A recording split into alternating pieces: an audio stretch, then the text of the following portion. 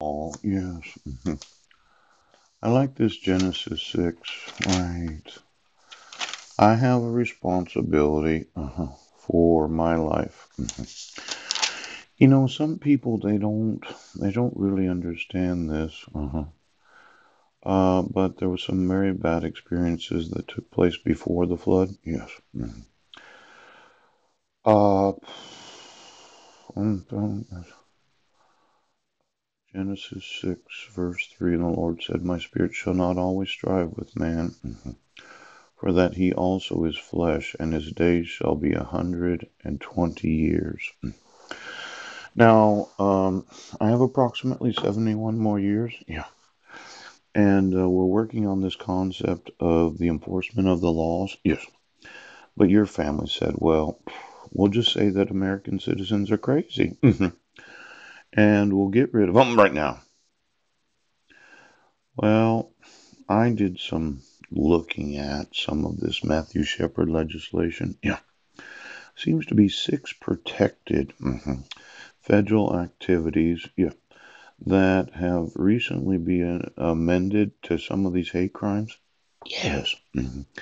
And I was curious about those six of them because mhm, I didn't know what they were.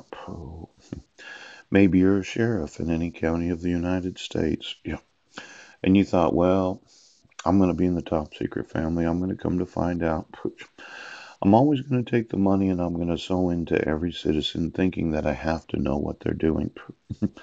it's a Tower of Babel concept right now. Isn't that what it is?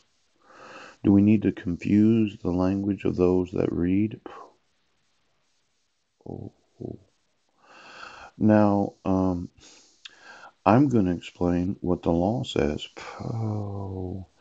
And then you're going to get sued for refusing to enforce the law. Mhm. Now, this uh, legislation that we passed in 2009, yeah, I was kind of reading it, and um, it looks to me that I'm not having enforced my actual federally protected rights.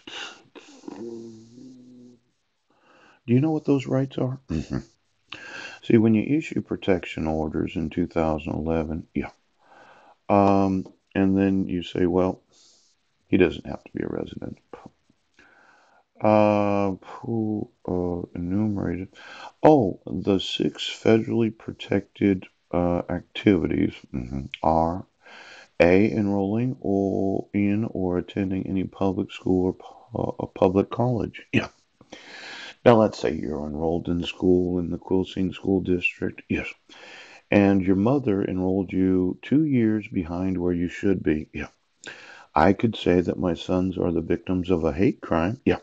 Because your family hates me. hmm Because I'm going, yes, to spend my life having you eradicated from humanity.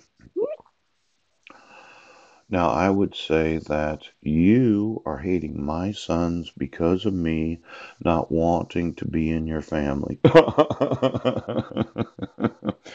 now, this federally protected activity known as enrolling or attending any public school, yes, I think it's it's very plausible to prove, right? Um, that when you enroll students in the wrong grade and you knowingly allow for that to happen because of the fraudulent issuance of protection orders, yes, and a dissolution of marriage where you say, I have no rights as a father, poop, and I say, well, you put him in the Associated Press, hmm I think you get 10 years right now. 10 fucking years. Now, I want you to remove your fraud today. Yeah. As you can see, the six enumerated federally protected activities. Yes. Um, enrolling in or attending any public school. Now, for every school superintendent and all those principals of each and every school of the United States, I think it's a federally protected activity that you have to be enrolled in the grade that you should be in because of your age. Yes. And your academic ability. Poo, poo, poo. Two grades behind right now.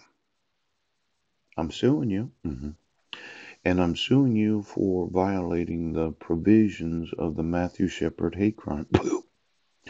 Now, today, I want you to remove your fraud. Do you understand? It's not just being able to enroll in a public school, it's enrolling students in the right grade because of their age and their ability to accomplish the work of the individual right now. Then there's B, participating in or enjoying any benefit, service, privilege, program, facility, or activity provided or administered by any state or subdivision thereof. Yeah. I have not been enjoying the benefits of law enforcement. You know, when I inform you of a forgery, yes, misrepresentation. Pouch! I'm telling you, you're going to spend the rest of your fucking life in prison. Do you understand?